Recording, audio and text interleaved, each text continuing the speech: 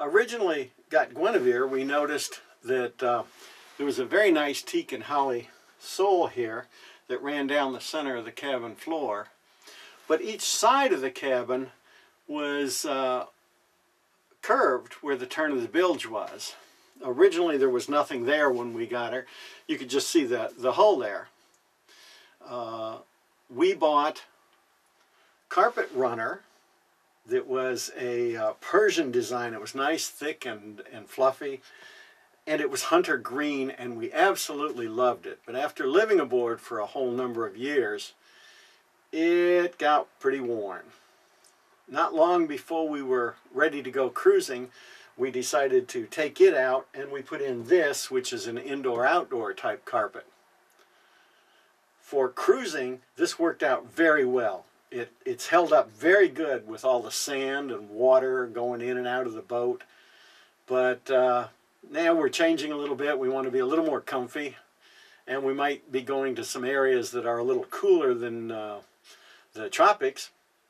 So we decided it's time that this got changed out again. The beauty of putting carpet in this area on the bilge is that uh, it's fairly easy to put in with a uh, carpet adhesive. They make some really good ones now that don't outgas. And it's fairly easy to remove the carpet and pull it out. What I'll do is I'll take this old carpeting out, flip it over, and I'll use it as the pattern to cut the new carpeting with.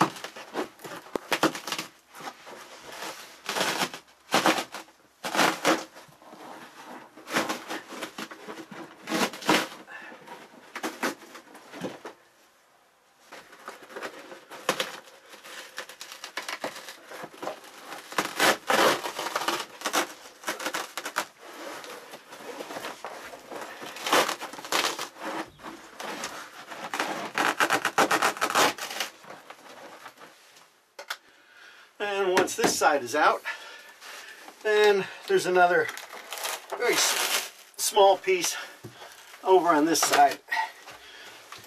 Now for a cleanup. Get the vacuum in here and wipe everything down and get it all cleaned up.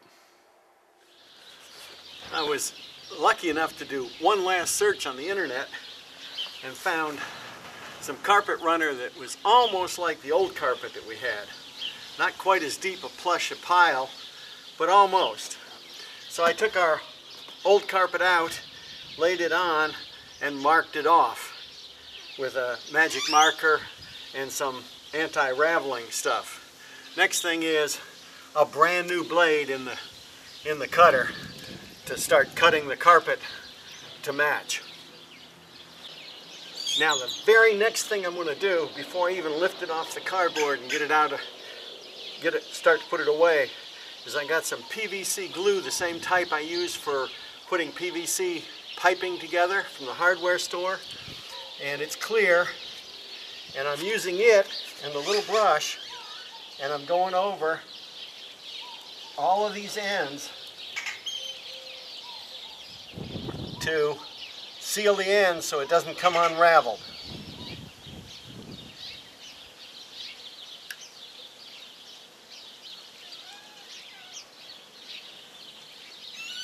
Here I am back at the boat and uh, although I used the pattern from the old carpet to exactly cut out the new one because you're pulling the old one out and because it's worn a lot it may not fit just exactly like I want it. So I'm here to make some minor adjustments to the carpet before I lay it in and seal it down.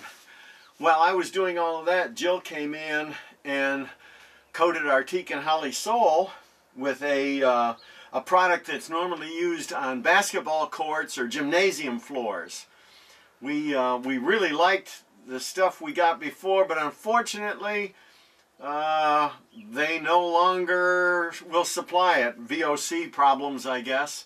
So we used a different product this time. We'll let you know after a year or two how it holds up. The old product held up great. It uh, it looked nice. It never was slippery. It uh, Water didn't affect it. It worked really well. So I'm going to take out uh, my X-Acto knife and a, and a pair of uh, shears and I'm going to trim this up just the way I want it before I seal it on down.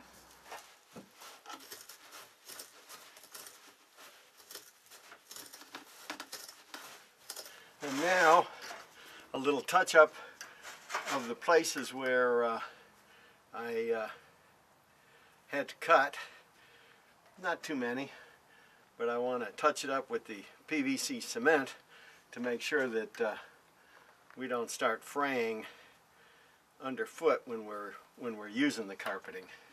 Now it's time to stick the carpet down and I've got this carpet adhesive here which is sort of a jellified stuff and I'm here to tell you you don't really need to stick the carpet down every place. It doesn't all need to be stuck down. Just enough to hold it in place.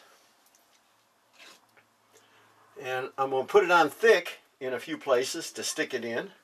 And then I'm going to mash the carpet into it to make sure it gets held very tightly in place.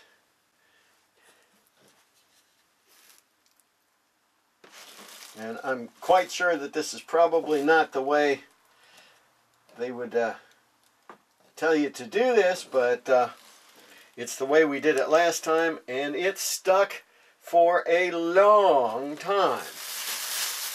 Now you want to make sure that you don't get this on any of the flooring.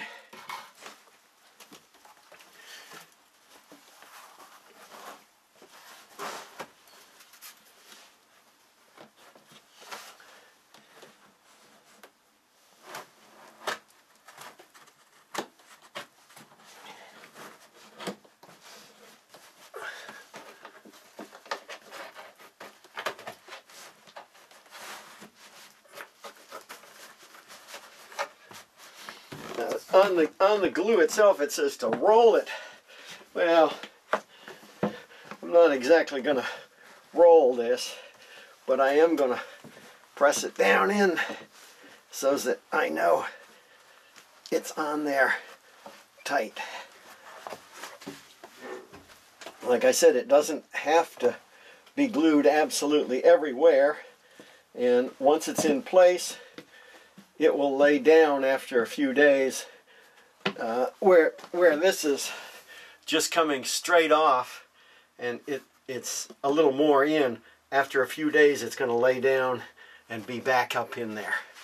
So that's the small side. Now onto the big side. So on this side I'm going to do it in parts and put the glue in parts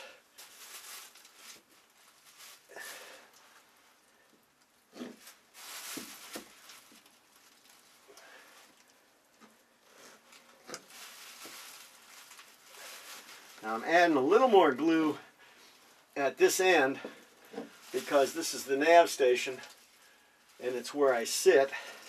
So uh, my feet are uh, into it more here. You know, it gets it gets moved around a lot more.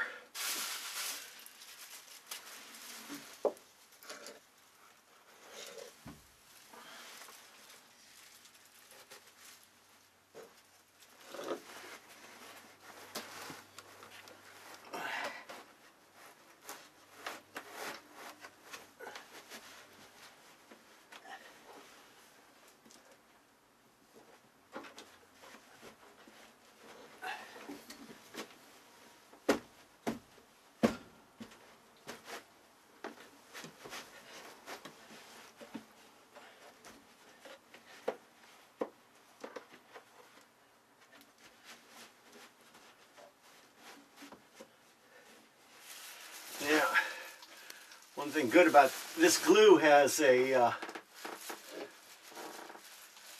has a nice long working time. So it's not critical that you get everything down instantly. You can uh, take your time. So there we are. The new car carpeting in place. It's not set up yet. So no more work for 24 hours while it sets up. But now we have the comfortable home back that we've become accustomed to.